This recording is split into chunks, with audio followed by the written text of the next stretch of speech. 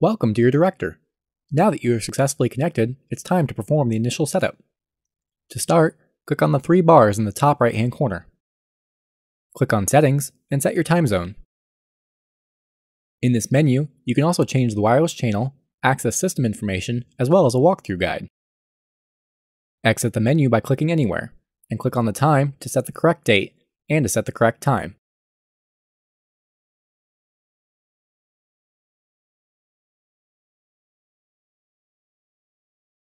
The top half of the screen is where your tanks will be displayed, with all relevant information. Here you can see the tank's name, the current number of lights assigned to the tank, the active effects, and the current weather in the tank. Each of your real-world tanks will correspond to a tank in the browser. You can add new tanks by clicking on the plus on the right-hand side. Click on the tank name to assign a name to this tank.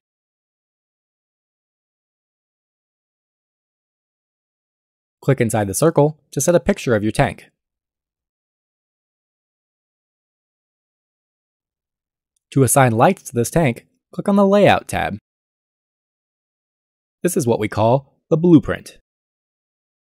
Before attempting to discover your lights, be sure the indicator LEDs on the side of all lights are red. If an LED is green, hold the button on your light down for about 8 seconds until the LED begins to rapidly flash between red and green, then release after which it should turn red.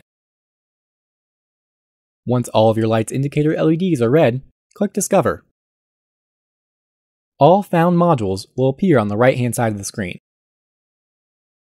Drag the lights onto the blueprint and place them in the same configuration they are in above your tank. If your lights use a wireless adapter, choose which light type it is after dragging the light to the blueprint. To get more information about a particular light, simply double click it. This will cause the light to flash so you can easily identify it above your tank.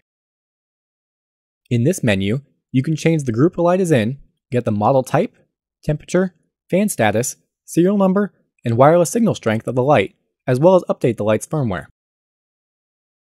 To change a light's group, simply click on the group color that you would like to add the light to. Groups are most useful if you need to set certain lights at a lower intensity in order to acclimate new livestock. Once you are finished, click Save. Your tank's information will update automatically.